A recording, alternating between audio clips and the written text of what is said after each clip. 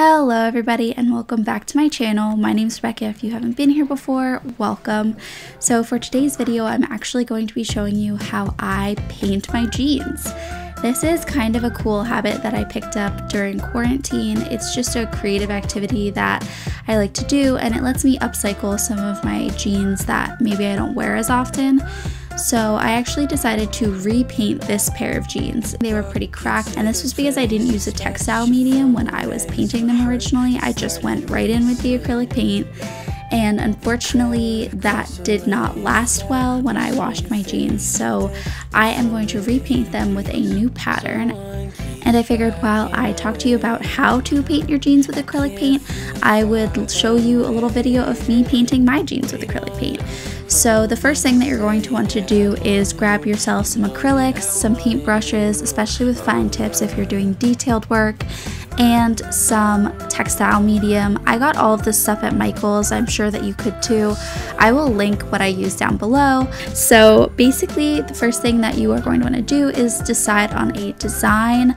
I chose the Powerpuff Girls heart design. It's really big right now. It's very trendy, but I really like it. It's very nostalgic. I used to watch Powerpuff Girls all the time, and I thought that this would be a fun little design to do on the back of my jeans on the pockets. I also decided to do two different colors, which you will see as I'm painting, because I thought that it would be more of a fun vibe. So the next thing that you're going to want to do is take some duct tape and tape it around the area that you're painting to keep everything else clean. Once you paint something with acrylic, it's near impossible to get it out of your clothing. So where the paint lands, it will at least a little bit stick. So I like to cover any area that I don't want paint on. And then after that, I took some white paint and my textile medium and I painted the base color that I am going to be using I just painted it white because I wanted the colors to really pop. If you just start painting color on top of the jeans, you're going to have a much duller color.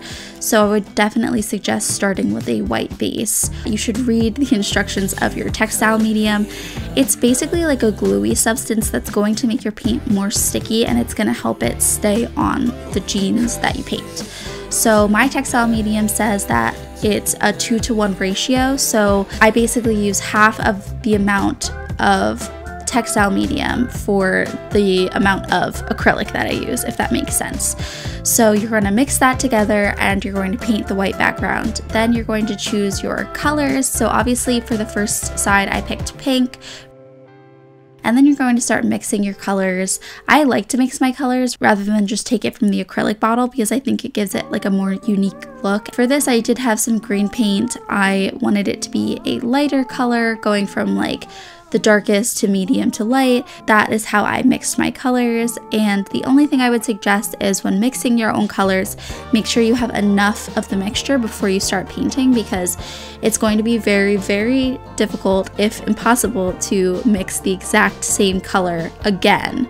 So you always want to make sure you have enough. So that is basically how I painted my jeans. I really like how they came out. I love the two different colors. I think it's like funky and fresh. And I think that I did a relatively good job. I mean, like, not to toot my own horn, but um, I'd also suggest Obviously, I did this, you don't have to, but drawing the design beforehand is going to help when you are painting to make sure that it's like clean lines. If that's not what you're going for, then do whatever you would like.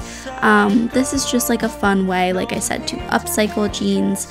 I thrifted these a couple years back with the intention of painting them, but I've also gone on to paint jeans that I own. I've given some to friends, I've sold some. So, yeah, it's just a really fun thing to do and a nice way to sustainably continue wearing something that maybe you weren't in love with.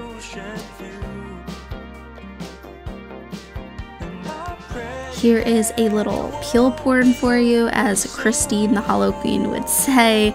And this is the finished product. You are going to want to let these jeans dry for at least 24 hours and then you can stick them in the dryer.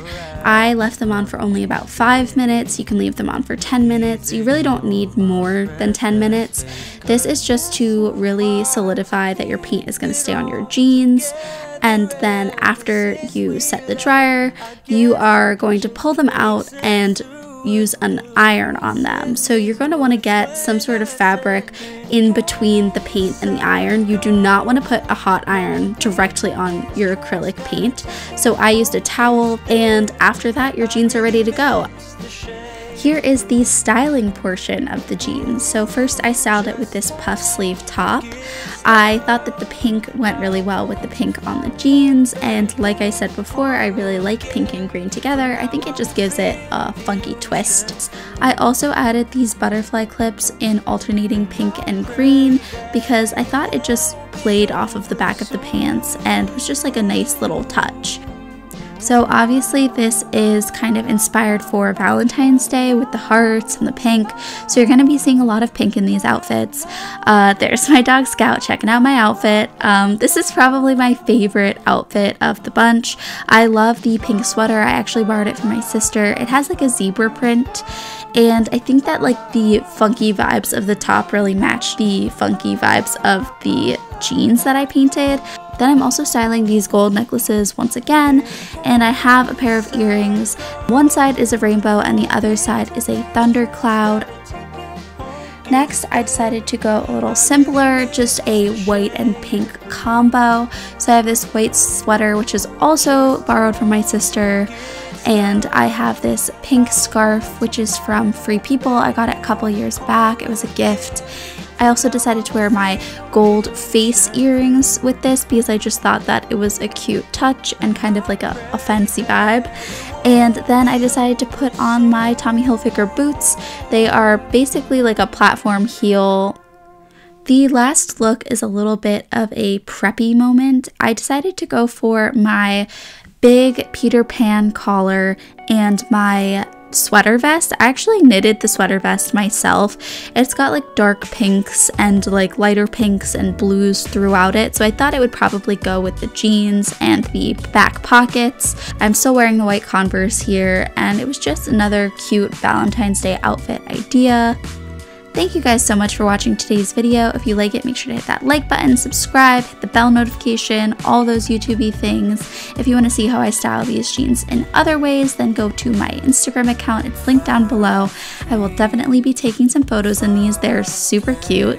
If you end up making your own jeans, then send me pictures over on my Instagram. I would literally love to see them. I hope you guys have a great week, and I will see you next week with another video. Bye!